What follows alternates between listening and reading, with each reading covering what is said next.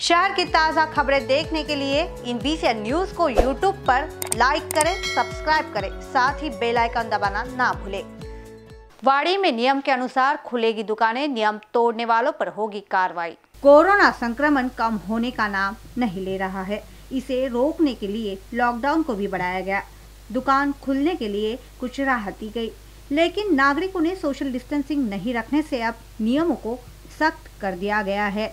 वाड़ी शहर में अब सुबह सात से शाम सात बजे तक ही वाड़ी की दुकानें खुली रहेंगी, जिसमें सब्ज़ी, भाजी, फल, मच्छी, चिकन, मटन की दुकानों को अनुमति रहेगी। नगर परिषद ने 5 मई को एक आदेश जारी कर सुबह 9 से 2 बजे तक समय दिया गया था, लेकिन इस आदेश को जिलाधिकारी रविंद्र ठाकरे ने मुख्याधिकारी जुमा प्यारेवाले से 6 मई को वीडियो कॉन्फ्रेंस लेकर आदेश को रद्द कर दिया। नए आदेश लागू कर अब सुधारित नियम शहर के लिए सुबह सात से लेकर शाम सात बजे तक खुले रहने का आदेश 6 मई को शाम को प्राप्त हुआ। अब इस नियमों का पालन सभी दुकानदारों को करना होगा। नियमों के अनुसार दुकान नहीं चलाने वाले दुकानदारों पर अब कार्रवाई होने की जानकारी मुख्याधिकारी जुम्मा प्यारे वाले ने दी। निवासी क्षेत्र के दुकान सड़कों पर नहीं लगेगी। सड़कों पर दुकानें लगाने के लिए पाबंदी की गई है। निवासी क्षेत्र में सड़कों पर दुकानें लगाने वालों पर कार्रवाई होगी।